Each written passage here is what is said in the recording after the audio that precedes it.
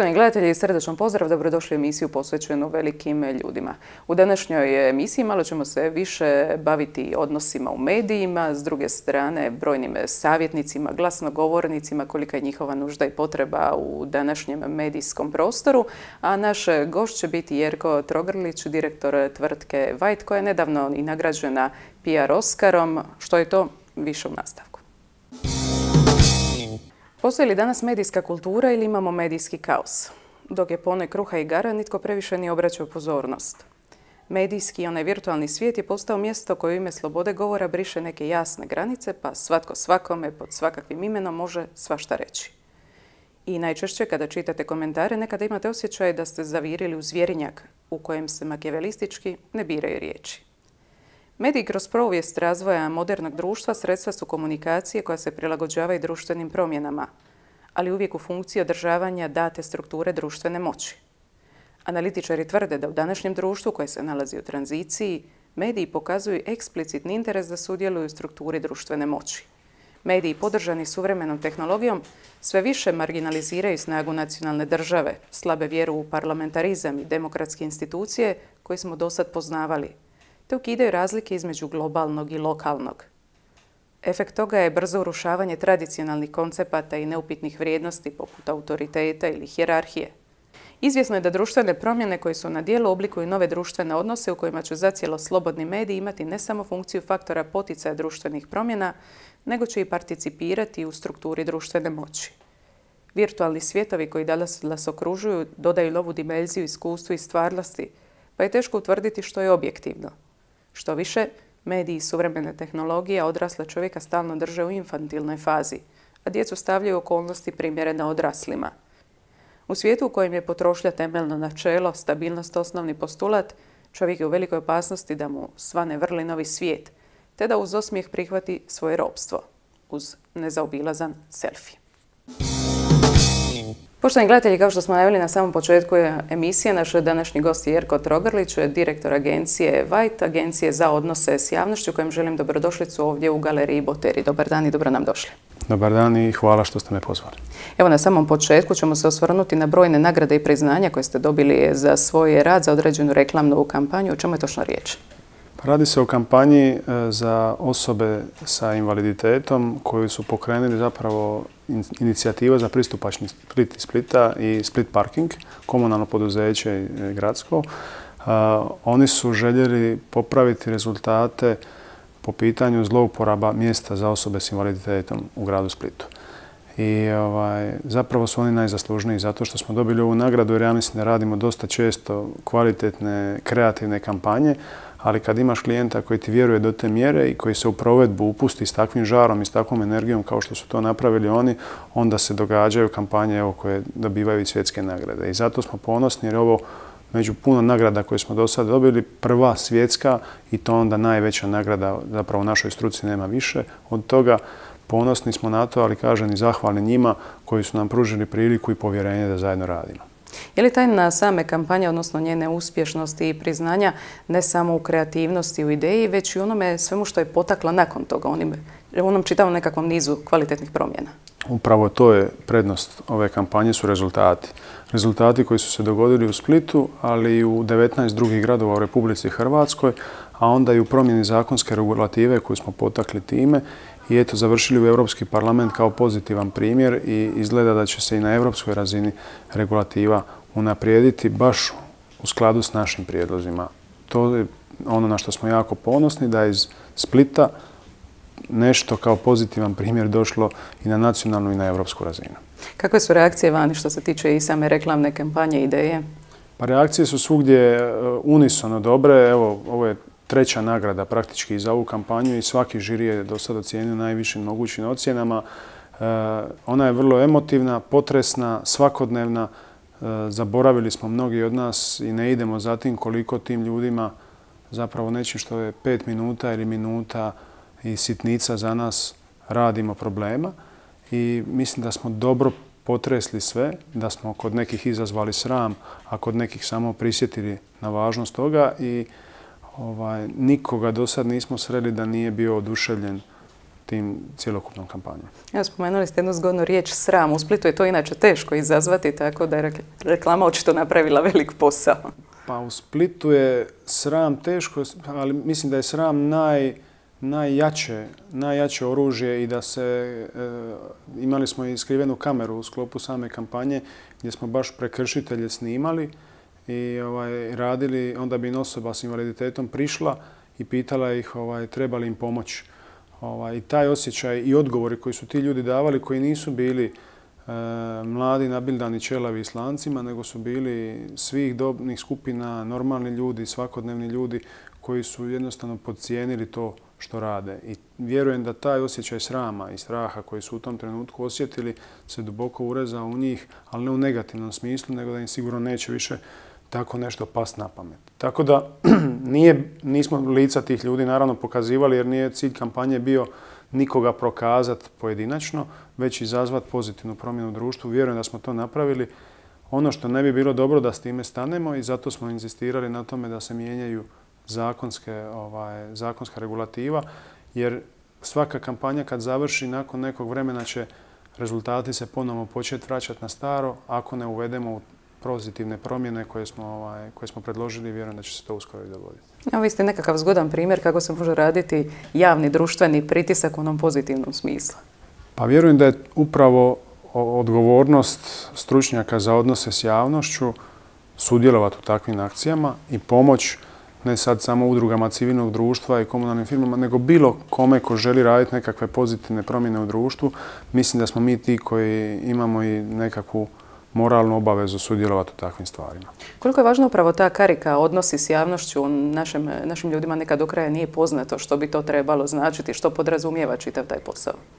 Mislim da ni mojim roditeljima nakon deset godina što ja to radim još uvijek nije to potpuno jasno, iako me podržavaju u, u svemu što radim. E, imate pravo, u postolara su najgore cipele i mi svoju struku nismo uspjeli na najbolji način objasniti.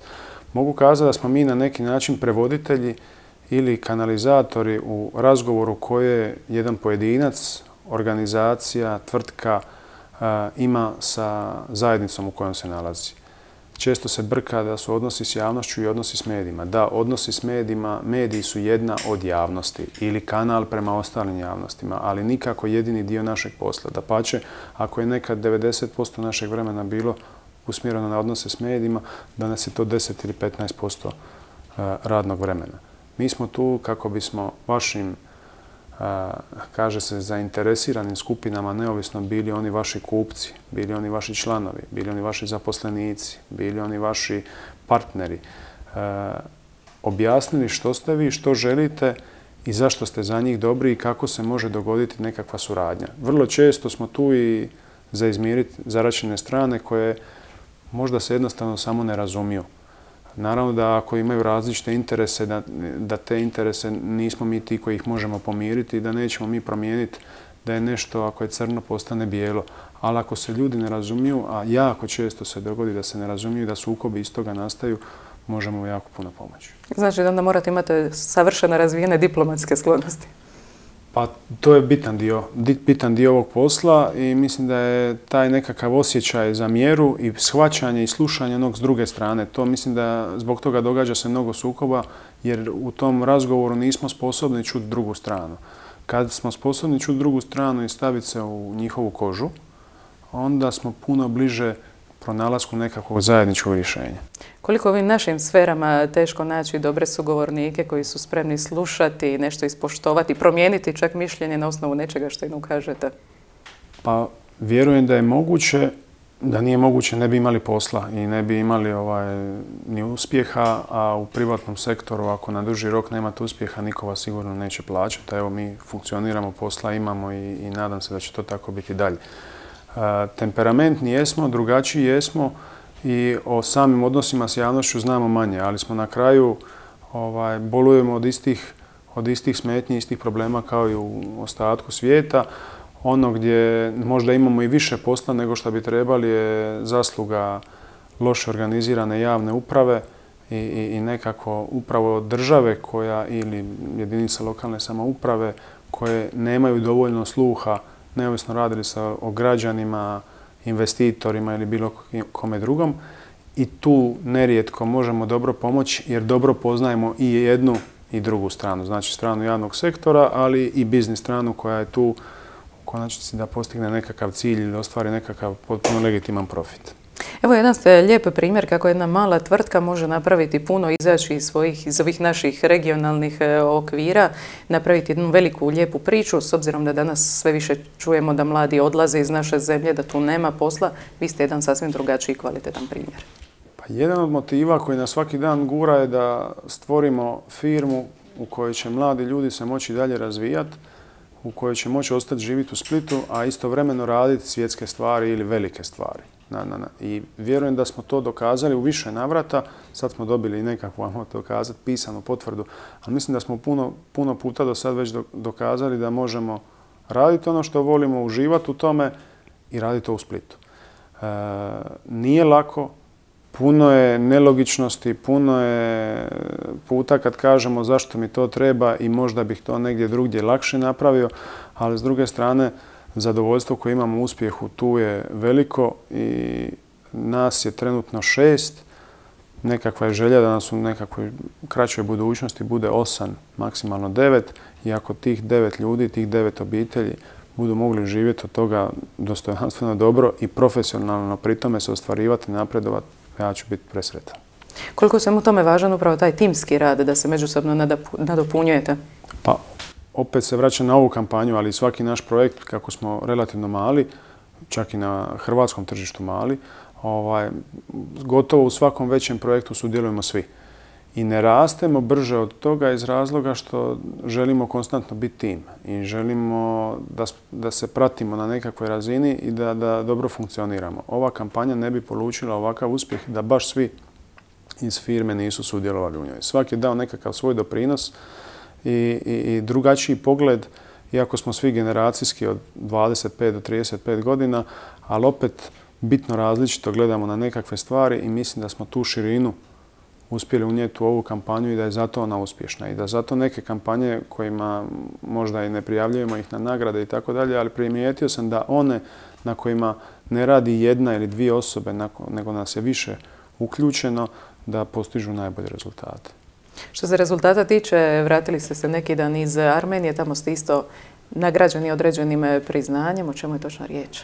Pa to je priznanje bilo vezano za ovu kampanju, to je treća, kažem, nagrada opet za istu kampanju. To je Global Golden Award, najveća nagrada koja postoji u našoj struci. Ovaj, I kako je biti među najvećima? Pa posebno iskustvo. E, družiš se cijelu večer i sjediš i primaš nagrade sa ljudima koji imaju tisuće zaposlenih, sa tvrtkama koje ostvaruju proračune višestruko veće, prihode višestruko veće od gradskog proračuna grada Splita, koje ima, evo, kolega koji je sjedio sa mnom za stolu, ima 89 poslovnica diljem svijeta. I sad iz iste perspektive sigurno da ne možemo razgovarati, ali način na koji i skromnost i otvorenost koju pokazuju ovaj, zapravo ih vidiš da ih nešto taj uspjeh nije promijenio, nego da i dalje jednako tako uživaju radeći taj posao i da se jednako tako vesele nagradama koja im je ko zna koja po redu, kao i mi kojim je bila prva. Kolika je prednost e, ovog vašeg zvanja? Upravo ta mobilnost, e, susrećete različite ljude, imate mogućnost osjetiti različite kulture, različite gradove, metropole. Koliko vas i to obogaćuje, odnosno mijenja nekakve vaše perspektive? Mislim da nas to čini, uvijek je bilo to da putovanje čini čovjeka bogatijim i mislim da je to jedan od najljepših dijelova našeg posla. Nekad si samo time što si evo sad imao priliku biti u Jerevanu i vjerujte mi u tom gradu koji je 2800 godina star, u koji krećeš sa velikom skepsom, a vratiš se bitno obogaćen sa nekakvim iskustvima koji ćeš sigurno primijeniti sutra i u svom životu, ali i na, na brojnim projektima. Mislim da nas ta putovanja, jednako kao i edukacija, drže, da to ovaj, uz naravno internet koji je danas pristupan i dostupan svima i koji omogućava učenje koje nekad nije bilo moguće, nam omogućava da baš iz Splita radimo svjetske stvari koje možda moje kolege, iako je struka relativno mlada, prije 20 ili 30 godina nisu imali takve prilike. Evo, malo ćemo se posvetiti medijskom prostoru, iako to nije isključivo jedini segment eh, vašeg posla. U prilogu malo prije smo spomenuli da kod nas ta medijska kultura je na nekakvim niskim razinama, odnosno nekakvim eh, tek eh, povojima. Kakva je vaš stav o tome? Pa moj stav je da je medijska kultura u Hrvatskoj nije bitno na nižoj razini nego što je uopće u svijetu. Ako ćemo ići od zapada prema istoku, naravno da su stvari mijenjaju. Ako ćete otići samo malo na istok, vidjeli bi koliko je to radikalno gore nego što je kod nas. Činjenica je da pojavom društvenih mreža se, koje su s jedne strane bitno pomogle e, demokratizaciji, pristupu informacija i svemu, s druge strane su potakle nekakve nove cikluse i nove pojave s kojima još se uvijek ne nosimo na najbolji mogući način. komentari ispod članaka koje ste spominjali, ima je jedan kolega ružnu jednu, jednu izjavu, kaže komentari ispod članaka su dokaz da je u pećinama postoji internet. E sad, to zaista zvuči brutalno, ali nerijetko nas takav dojam i uhvati kad pročitamo šta sve dole piše. Ljudi iz svoje nekakve anonimnosti i skrovitosti su spremni izbaciti najgore što imaju iz sebe i to se, to se recimo na takav način pokazuje. Dosta medija već danas ćete vidjeti ukida komentare, dosta portala, zato što postaju odgovorni i za sadržaj koji se tu nalazi, a to nije lako niti administrirati, niti moderirati. I onda je na kraju se svede do toga da je najjednostavnije ukinuti. Tu je granica vrlo teška jer ta interaktivnost je donijela s jedne strane puno toga dobroga, ali nosi te opasnosti. Znači, ne bi se složio da je u Hrvatskoj kultura medijska na bitno nižoj razini. Možda malo kaskamo za zapadom, ali ako odemo skroz na zapad, pa odemo recimo sad do Amerike ili negdje drugo, vidit ćemo da situacija nije niti malo bolja. Tamo sve u komentarima vjerojatno već vade pištolji i slično. Još gori slučaj. Evo, što se tiče slobode medija, koliko je, nažalost, ta sloboda pogrešno svačena kao sloboda bez odgovornosti? Tu je ponovo tanka granica. Ja se često nalazim s one strane koja inzistira na tome da se e, priče provjere, da se, da se druga strana pita, da se jako pazi da ono što je objavljeno, a nije istinito je bolje ne objaviti ako ima i 10% šanse da, da, da nije istina. Tu je vrlo teška granica u društvu koje je tako teško i straumatizirano i sa pretvorbom i sa različitim aferama i sa pokušajima cenzuriranja medija. Znači danas se dogodila nekakva, amo to tako nazvat, sloboda.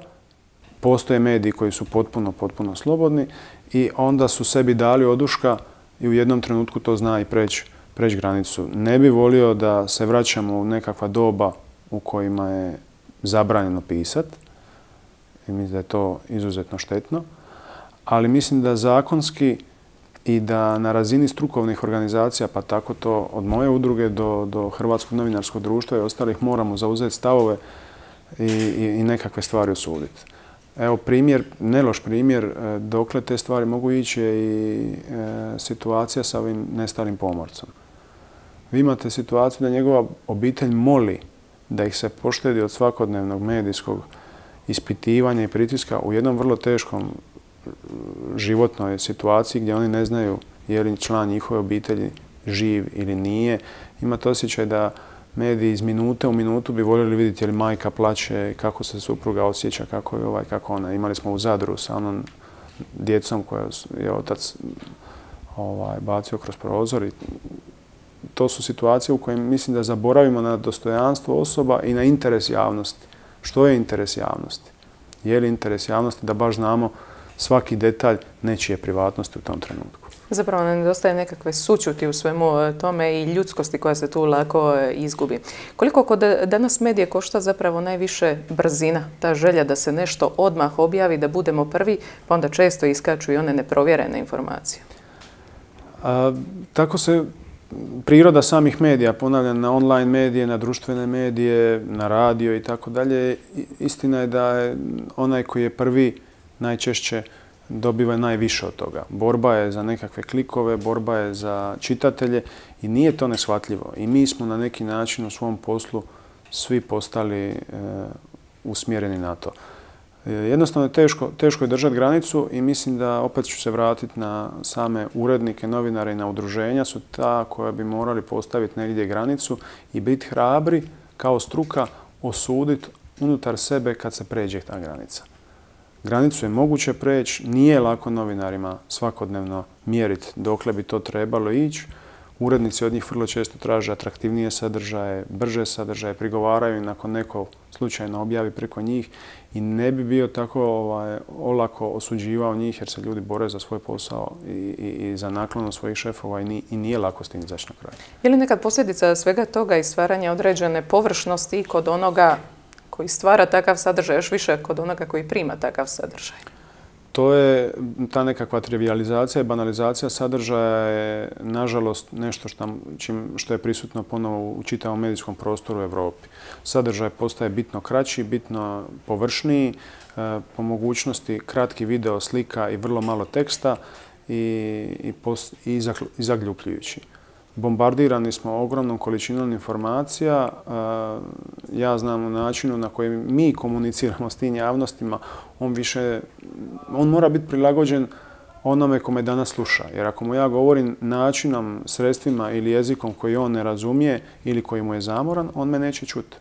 Vratimo se na ovu kampanju da smo mi išli elaborirati koliko ovoga, koliko onoga i tako dalje. Tu kampanju se nikad ne bi čulo. Mi smo išli na nešto što je bila fotografija, što je bio video, što je bila snažna emocija koju životne priče tih ljudi e, ovaj, imaju, da bi ih onda uvukli u priču i onda dali nekakav dodatan sadržaj. Mediji se vrlo često nema vremena time baviti. Isto tako ovaj, vrlo malo je analitičkog i, i, i istraživačkog novinarstva koje, u kojem vi možete financirati novinara koji će mjesečno izbaciti dvije ili tri priče, a umeđu vremenu će raditi na njima.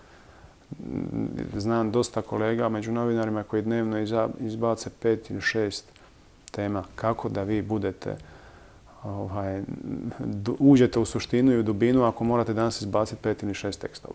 Tako da je e, zahtjevno i događa nam se ta jedna spirala i vjerujem da opet vraćam se na odgovornost, odgovornost možda čak i tiskanih medija najviše koji potencijalno mogu i svoju komercijalnu budućnost vidjeti u tome, ali bitno moraju promijeniti e, koncept na koji rade. E sad, lako je izgovoriti, a vode se rasprave i debate o tome na svjetskim razinama još niko nije našao rješenje.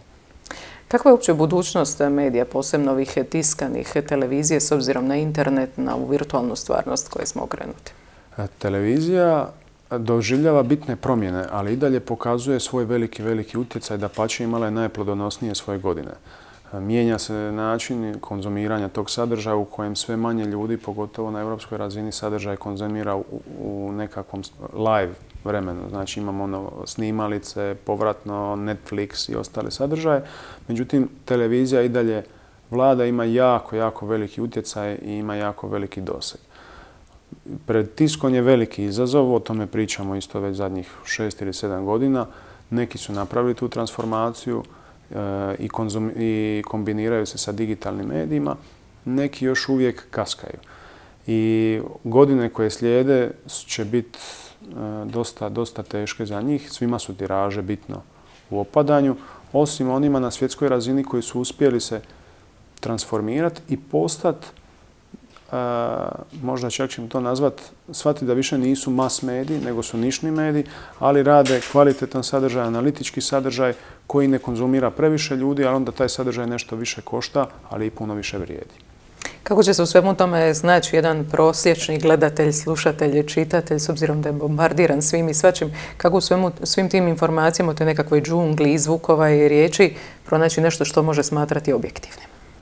Pa vrlo teško. Prosječnom čitatelju je bombardiranje sa svih strana, iako mu je informacija više nego ikad, pitanje možda konzumira jednostranije stvari nego ikada do sad, pogotovo što kad izvadite nekakve istraživanja i analize vidite da veliki broj ljudi konzumira sadržaj preko društvenih mreža.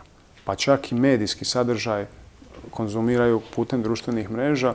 Ako uzmete da recimo u Hrvatskoj preko milijun, milijun i sto tisuća ljudi e, svakodnevno na Facebooku i ako im je to primarni način kojim konzumiraju sadržaj, a Facebook je e, postavljen tako, algoritam je postavljen tako da vam pruža sadržaj koji on procjenjuje da vas zanima i koji vam se sviđa i koji se sviđa vašim prijateljima. Vrlo lako se i vrlo u kratkom vremenu se nađete u jednom balonu da ste dnevno zasuti informacijama, ali informacijama koje vas zanimaju i s kojima se slažete. Čime kreirate nekakvu stvarnost koja je možda vrlo bitno različita od, od, od, od stvarne. tako da, iako nam je dostupno više nego ikad, bombardirani smo zato vrlo, vrlo jednostrano i ne vidim način kako se pojedinac može nositi s tim. I ponovno je pitanje da se formiraju mediji kojima ćete vjerovat, koji će utjecati na formiranje stavova mišljenja, a to u svijetu komercijalnih medija kakvi su danas zaista nije lako kako vjerovat nekome kome je nužno i prirodno da, da teži prema profitu, da ovisi o nekakvom oglašivaču i tako dalje. Tako da je to dosta, dosta začarani krug i zatvorena priča, iako ponavljam, postoje mediji na svijetu koji su se uspjeli kao takvi isprofilirati. Uspjeli su vratiti nekakvo povjerenje. Evo za sam e, kraj, koliko će tek generacije koje dolaze stradati u tom vidu, s obzirom da se danas već rađaju gotovo s mobitelom u ruci? E, moram priznati da, iako sam relativno mlađa generacija, mi je dosta izazovno s tom, s tom javnosti, ajmo ih tako nazvati, s tim segmentom društva komunicirati. Kad e, gledam mlade ljude, počevši od 12, 13 pa do 18, 19 godina, način na koji oni konzumiraju sadržaj je bitno različit od naše generacije, a nismo tako daleko. I mislim da u ovom trenutku niko ne zna kud idu, oni su, njihovi krugovi, njihove te mreže su još zatvorenije nego naše. Oni manje gledaju televiziju. Oni još manje čitaju medije. Oni su isključivo na društvenim mrežama i to na društvenim mrežama koje niti mi ne koristimo. Recimo Snapchat i takve stvari koje su isključivo društvene mreže njihovog kruga ljudi. Tako da oni se zatvaraju u te mikrogrupe, što mislim da je jako štetno. Uvijek sam smatrao da je za, za ljude dobro da šire šire nazore, da šire razmišljanja, da se druže s ljudima s kojima se ne slažu, da ulaze u nekakve, ako treba, debate i rasprave, e, oni se sve više okružuju istomišljenicima. I mislim da je to pogubno i štetno i nadam se da ćemo i kroz nekakav naš obrazovni, obrazovni sustav, a s druge strane i kroz evo, putovanja kakvih, ovaj, kakvih sam srećom kroz svoj nekad sport, studij, a danas i struku imao priliku razbiti te neke barijere koje nam se počnu, koje nam se počnu stvarati kad se svaki dan družimo i razgovaramo samo s onima s kojima se slaže. Eto, nadam se da će i naši mlađi to poslušati. Nažalost, došli smo u nekakav paradoks na kraju. Sloboda medija je velika, mogućnosti su brojne, a mi se sve više zatvaramo. Nadam se da će taj začarani krug ipak prekinuti, da će se naći dovoljno i volje i snage za to. Hvala vam lijepo na ovom razgovoru. Hvala vam. Poštovani gledatelji, mi ćemo u nastavku pogledati presjek tjedna. Split se po prvi put pridružio globalnoj akciji Race for the Cure koja se trči već 36 godina, a održala se istovremeno u 140 gradova svijeta. Na Splitskoj rivi u akciji je sudjelovalo više od 5000 ljudi. Prvo želim reći da mi je bila čast biti ambasador ove krasne, hvale vrijedne humanitarne akcije. Split je pokazao veliko srce, podržao ovu akciju. Danas smo hodali i trčali za sve hrabre žene koje su pobjedile ovu bolest i koje se bore s ovom bolešću. Hvala svim onima koji su došli i svojim prisustvom e, dali podršku, a hvala posebno svim onima koji su trčali, koji su hodali za sve hrabre žene. E, prvi put Race for the Cure u Splitu, e, inače se održava u 140 gradova u svijeta. Ove godine prvi put u Splitu koji je nadmašio sva naša očekivanja. Više od 5000 ljudi je ovdje kod nas. E, vidite da su štandovi potpuno prazni, sve su majice otišle, ljudi su presretni, pjeva se, pleše se i iskreno se nadamo da svi dajemo podršku ovim ženama u pink majicama. E, još jednom e, vas pozivam da svi podržite i dalje trke koje će se održavati, e, akcije koje će organizirati Županijska liga za borbu protiv raka. Idite na preglede, pregledi su najvažniji, najvažnija je prevencija zdravlje. Pozdravljam još jednom i sve sestre onkologije koje su ovdje isto tako sudjelovale, sve liječnike, svo zdravstveno i nezdravstveno osoblje u ime cijele bolnice i klinike za onkologiju. Ja nisam bila oboljela, iako sam dobila roza majicu slučajno. Sad sam presretna što sam trčala u ovoj majici. Za sve one koje su umrle, koji se bore i koji ne mogu trčati. Inače, bijele majice su podrška, roza su oboljele. Eto, hvala Bogu, ja nisam oboljela, ali toliko mi je drago što sam trčala u ovoj majici. Idem sad po roza balon. Prekrasan doživljaj, nevjerovatno koliko ljudi. Ja se inače bavim trčanjem. I mogu vam reći da je ovo nivo jedne evropske utrke. Nama je čak nekad ponekad i teško doći do ultrazvuka dojke, nije tako jednostavno, tako da mislim da bi stvarno trebalo povesti računa o tome. Naša mladost je pretežno trčala. Ej, puno im hvala od srca svih u nas bolesnih žena. Najdraže mi je bilo kad sam vidjela malu dječicu od 5, 6, 7, 8 godina. Pa to je naša budućnost, svaka im čast. Kroz niz akcija u sklopu Race for the Cure namjerava se kupiti pokretni mamograf za žene iz Zagore i otoka kojima pregledi nisu dostupni. Simbolično puštanje rozih balona u zrak praćeno Oliverovom pjesmom Vjeruju ljubav ostati će kao jedan od emotivnijih trenutaka utrke koja kroz zajedništvo pokazuje da bolest nije kraj. Poštovani gledatelji, bilo to sve u tjednoj emisiji. Mi se vidimo za sedam dana na isto mjesto, isto vrijeme, da tada veseli i zdravi bili ma gdje bili.